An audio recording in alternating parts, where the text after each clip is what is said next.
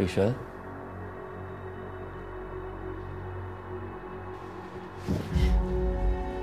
You said naayos mo na yung problema. You said hindi makakalabas yung video, Dad. Oh, bakit? May nag-send kay Miguel. Pinalayas niya ako sa bahay.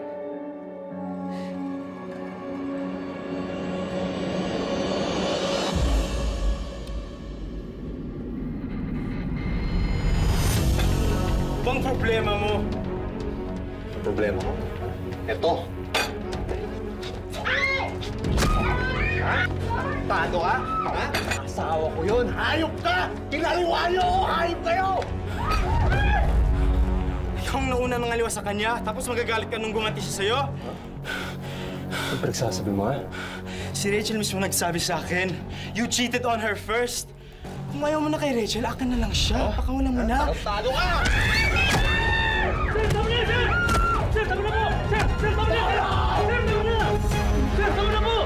Siguradong bubueltahan ka ni Conrad dyan sa ginawa mo.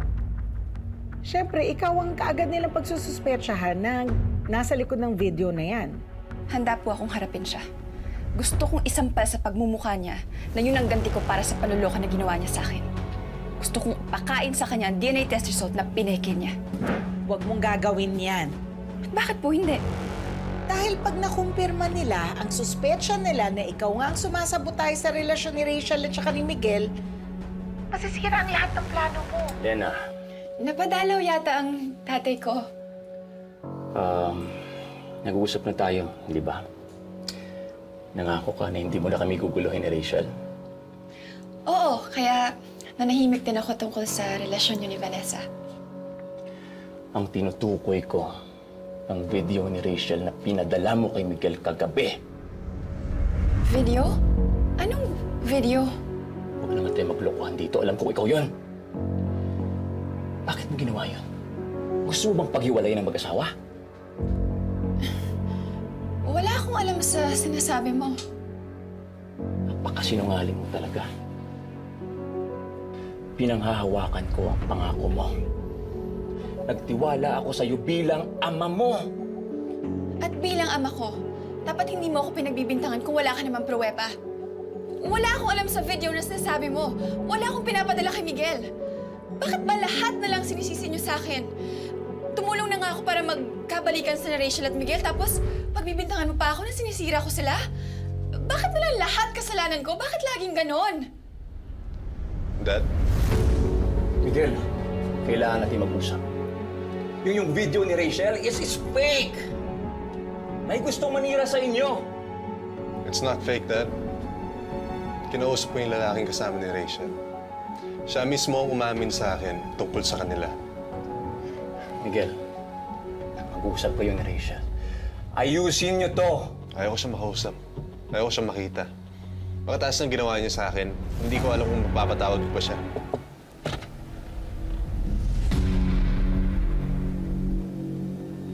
Kanina ko pa hinahanap yung asawa ko. Dito lang pala kausap mo. Pare, pasensya ka na istorbo ko si Vanessa. Si Rachel kasi ka si Miguel. Mag-away na naman kagabi. Papadala siya yata ang conference niyo tungkol kina Rachel at uh, Miguel, ah. May nangyari dun sa dalawang bata. May ginawa si Rachel na nadiskubre ni Miguel.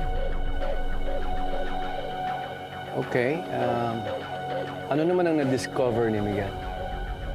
What Rachel... sh- she had an affair. At pinalaya siya ni Miguel sa bahay. Well, for me, hindi natin masisisi si Miguel. No offense meant, Conrad. Pero pasalamat si Rachel na ganun lang ang ginawa ni Miguel.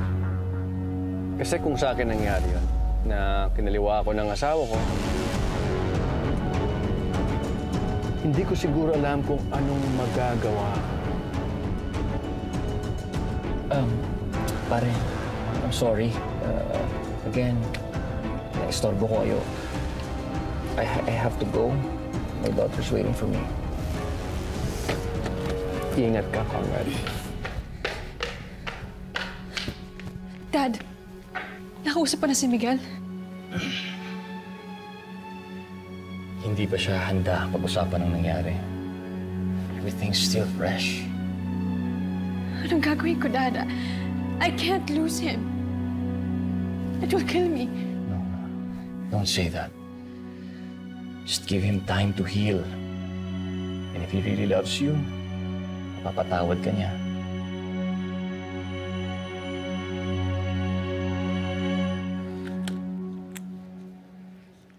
Pauwi ka na. Ihatid na kita. Salamat, pero wag ngayon. Pauwi ka na lang, nagpapaganda ka pa. Sabi nga nila, pag masama ang loob mo, magpaganda ka.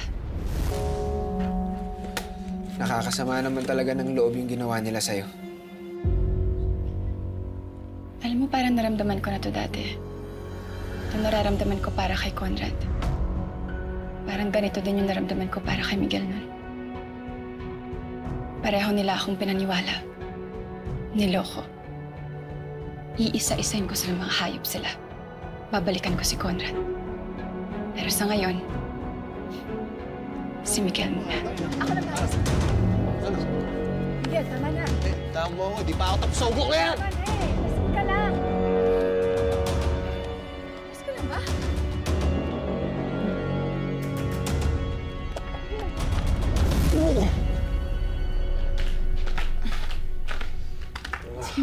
Dyan.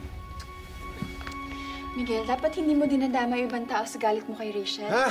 Huwag. Ayaw ko marinig yung pangalan na yun, ha? Ano bang ginagawa mo? Nasukahan mo yung shirt mo, di ba? Gusto mo matulog ng ganyan? Taas yung kamay.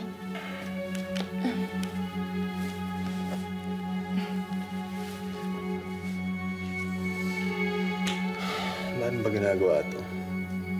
Hindi naman kita kaibigan, ha? Kasi walang tumutulong sa'yo.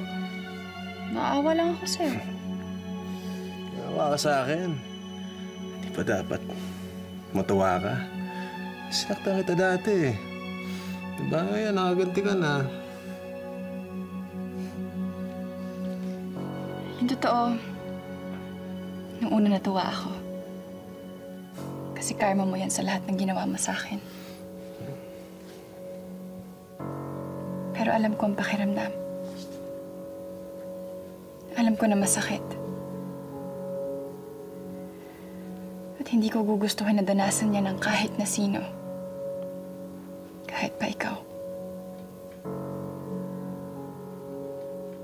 Hindi ko kinamatay yung ginawa mo sa akin nun. Hindi mo ikakamatay ang ginawa sa'yo ni Rachel. Maliban na lang kung ikaw yung sumuko at ikaw mismo ang sumira sa sarili mong buhay.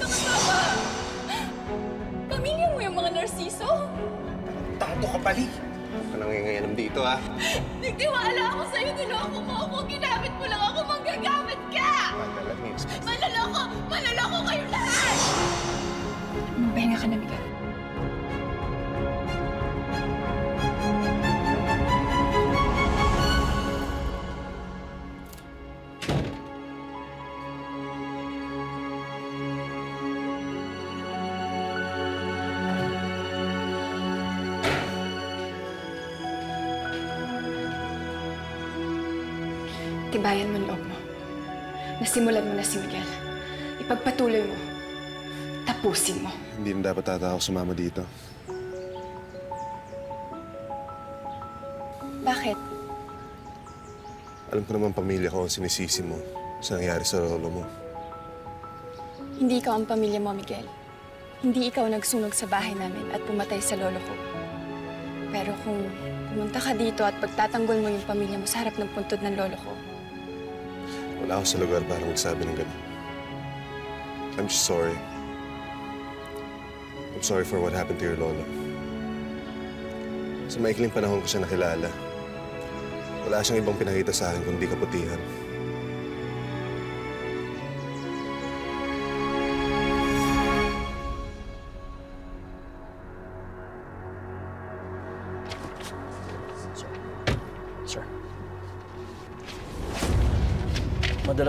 Nagkikita.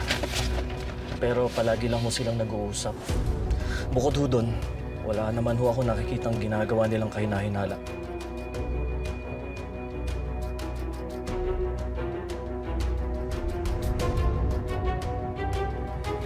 Iba ang kutob.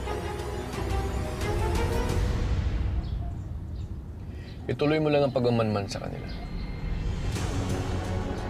Gusto ko malaman lahat ng pinag-uusapan nila.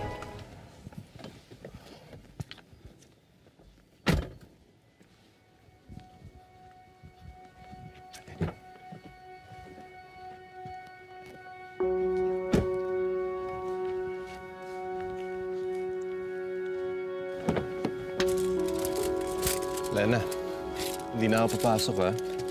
Tulungan lang kita ihatid dito sa pinto. Naintindihan ko. Mahaba ang paliwanagan pa pag nakita nila nakasama kita dito sa padasal ni Lolo. Pero salamat dahil sinamahan mo ko.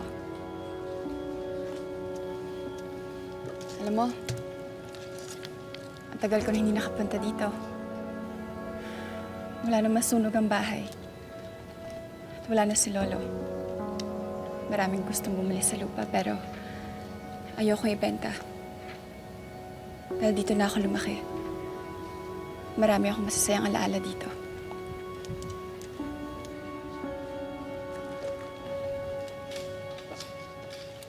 Lena, Nang,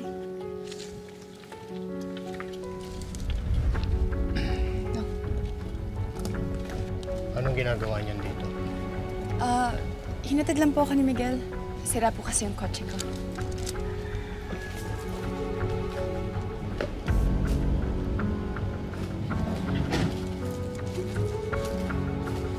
Lena? Miguel, nandito ka. Sasama ka rin sa padasal? Ah, hindi po. Actually, paalis na ako. Panaloko nga lang ba lahat na yon? Nagpanggap ka lang ba nung sinabi mong mahal mo ko? Hindi. Nung panahon na yun, yun talaga yung nararamdaman ko para sa'yo. Eh ngayon, ano nararamdaman para sa akin?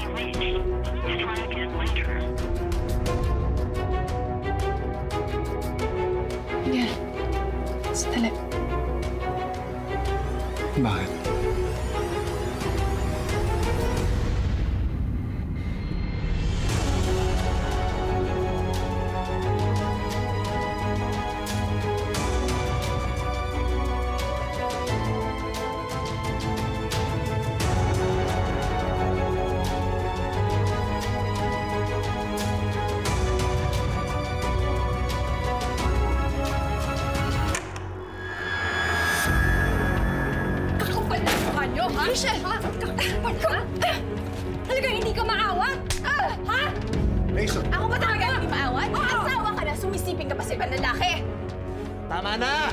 Rachel! Ikaw, isa ka pang manluloko, ha? Ano ba? Di ba ikaw yung una na haliwa? That was a mistake! Siya may kasalanan ng lahat ng to, Miguel. She planned everything! Pwede ba, Rachel? Huwag mong isisi sa akin ang kalandian mo. At talagang Mas ex mo pa nung high school? Ano to, some sick high school sex fantasy? Mukhang hindi talaga ako yung totoong freak sa atin dalawa. Ikaw! Ikaw! Rachel! Ikaw! Freak Lena, mo! tama na! Alam mo, ama! Lana, Miguel, hindi mo kailangan sabihin. Ayoko na lang siwa ng hangin dito. Excuse me, yung tsinelas ko. Oh! Baho to. Suwa ka! Kapal ang mukha mo! Jordan.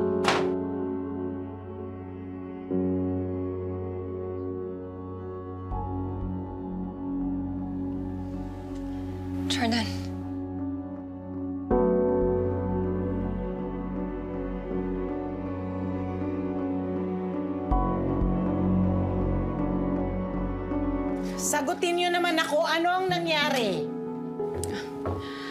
Yung plano po natin na sirain yung relasyon nila Miguel at Rachel, umepekto na. Tuloy na po sila nagkasira-sira. Ano? Inabutan po kami ni Rachel na... Alam niyo na. Kaya yun, nagalit, nagwala. Nag-aaway po sila ni Miguel ngayon. Mabuti nga yun yung nakita niya eh. Talaga bang wala ka nang pinipili? Wala ka nang ititira sa sarili mo? Baka ganti ka lang? Ginamit mo na yung katawan mo? Anong susunod, kaluluwa mo? Hindi ko naman itutuloy. Pinapahulog ko lang talaga yung loob ni Miguel sa akin. Aatras naman ako bago umabot dun eh. Kung hindi dumating si Rachel, hindi ka titigil. Hindi totoo yan. Ginagawa ko lang sa kanya ang ginawa ko nun kay Adrian. Pinapaasa, binibitin. Ano? Naghalikan ba kayo? Hinubarang ka ba niya? Umabot ba kayo sa kama? Hindi! Gusto ko lang naman... Jordan! Jordan! Sandali! Hayaan mo lang siya. Ito ang gusto ng freak na yon, Miguel! Gusto niya tayo mag-away!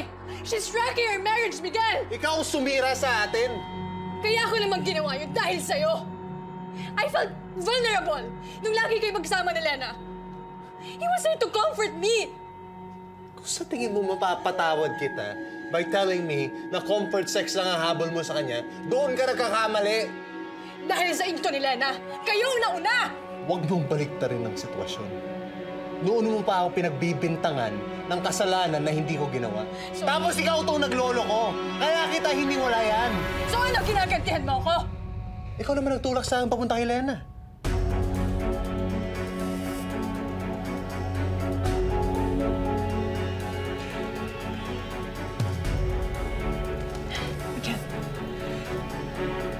Miguel, I'm sorry. I'm sorry. Kung sinasabi mo kasalanan ko, hindi kasalanan ko. Pero maaayos natin to, Miguel. Aayusin natin to. What can I do to make things right? Please tell me. What you did was unforgivable. Just leave. But Miguel, I'm your wife. I deserve a second chance. Walang lalaki gusto ginagago ng asawa niya. Umalis ka na. Miguel, No. Go! Can you just go?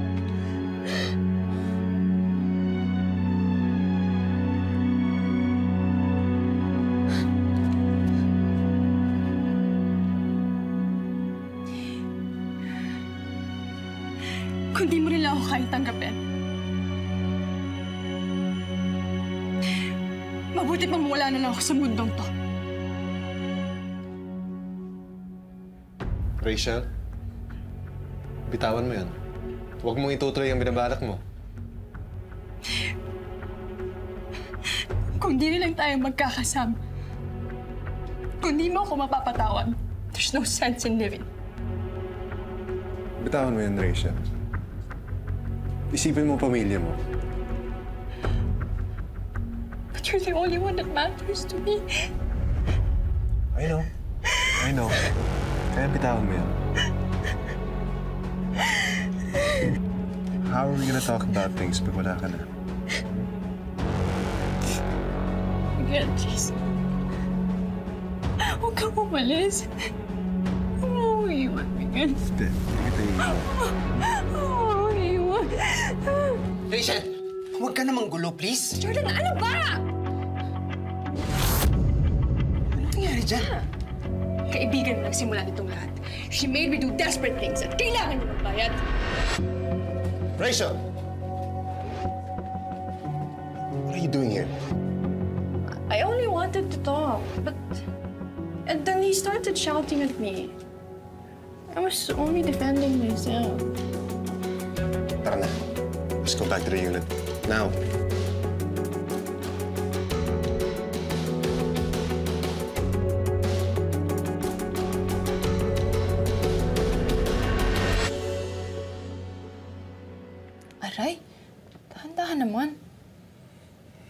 Tiisin mo, gusto mo yan eh.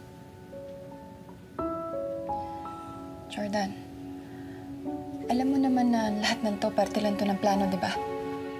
Wala pa to sa kalingkingan ng lahat ng ginawa nila sa akin.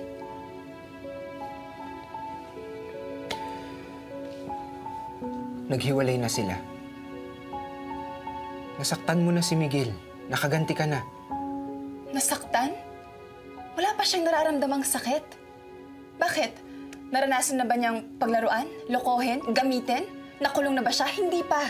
At higit sa lahat, hindi pa niya nararamdaman ang sakit na mamatayan ng taong pinakamamahal niya. Kaya anong gagawin mo? Maniningil ka ng buhay ng taong mahal niya? Ano, hayaan mong mabaliw si Rachel sa selos? Hanggang sa pagpakamatay, ganun ba? Dapat hindi mo ginawa yun, Rachel. I was just trying to fight for you. For this relationship. Hindi ba dapat yun din yung ginagawa mo? Tara na, matulog na tayo.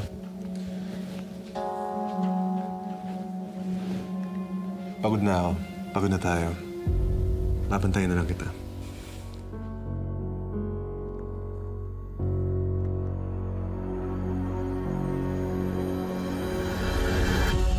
Si Rachel? Magpapakamatay? Susugod siya dito kanina kung hindi ko pinigilan. Nakita ko may mga sugat yung pulso niya. Naglalaslas siya dahil sa ginagawa mo. Hindi niya kayang gawin yun.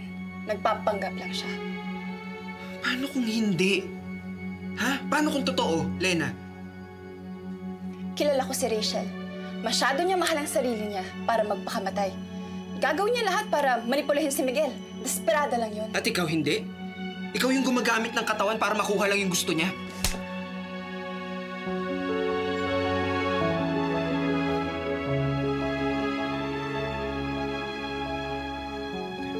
Hindi na kita kilala.